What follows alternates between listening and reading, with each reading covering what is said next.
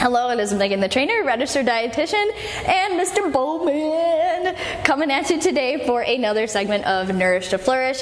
So today I and Bo, we're going to be talking, well, I'm going to be talking, we'll see what Bo has to say about it. We're going to be talking about bone health today. So a couple of episodes ago, I went through a deep dive into some of our micronutrients and we talked about calcium. And calcium is important for a whole slew of reasons, but the big thing that makes calcium famous is for bone health impact. So, we're going to talk a little bit about nutritional implications for bone health. So, there are a couple of different minerals that we need for our bones. So, calcium is obviously a big one, but we also need phosphorus and magnesium.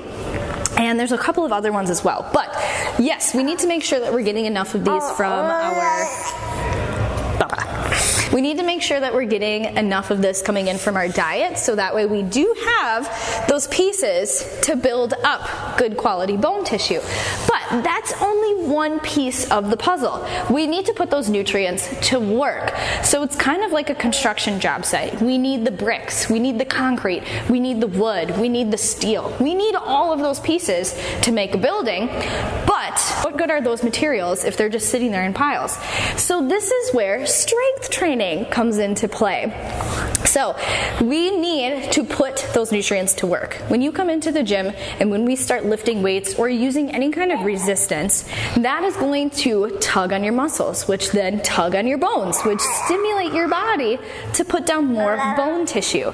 So, this is where strength training can be really helpful from a bone health perspective. So, ladies, listen up. Estrogen is going to play a big part in maintaining our bone density as we kind of go through our reproductive life and then into menopause, we have some changes with our hormones, which then therefore have some changes with our bones. So maximize it while you can. We have clients here at FLD that after they started training with us and incorporating good diet choices, that they have been able to increase their bone mineral density. So this is not one of those scare tactics of, oh, use it or lose it kind of thing.